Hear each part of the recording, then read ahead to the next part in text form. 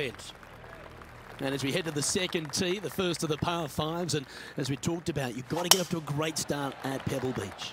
Absolutely, a par five that almost every player should be able to reach into. Just avoid the bunkers right and left, and you're going to have a clean shot into a very narrow green.